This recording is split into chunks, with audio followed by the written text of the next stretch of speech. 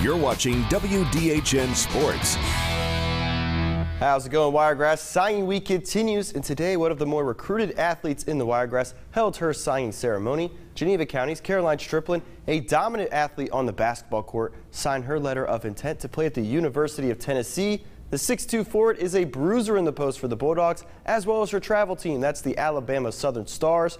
During her junior season at Hartford, Striplin averaged 21 points to go along with 13 rebounds and 5 blocks while adding 4 assists. Now moving to Tennessee, which is one of the more historic programs in the country, Striplin really sees a potential for her talents to grow, which made the decision oh so easy.